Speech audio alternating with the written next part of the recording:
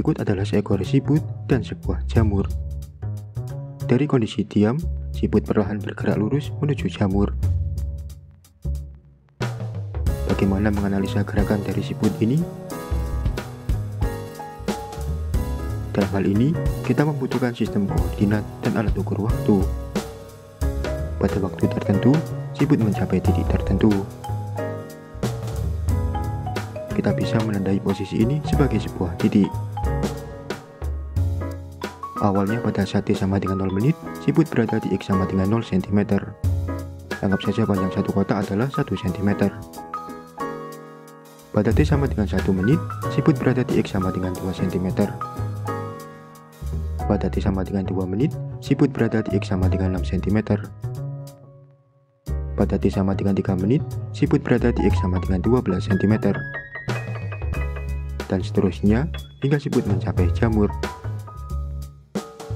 Menggunakan konsep dari tutorial sebelumnya, kecepatan siput pada segmen pertama adalah V1 sama dengan 2 minus 0 per 1 minus 0 sama dengan 2 cm per menit.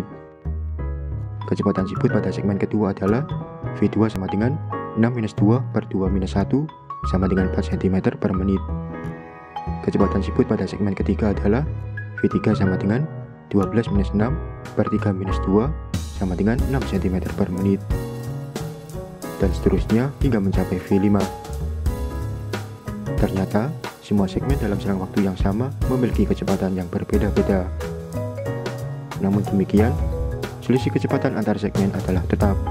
Dalam kasus ini, selisihnya adalah 2 cm per menit.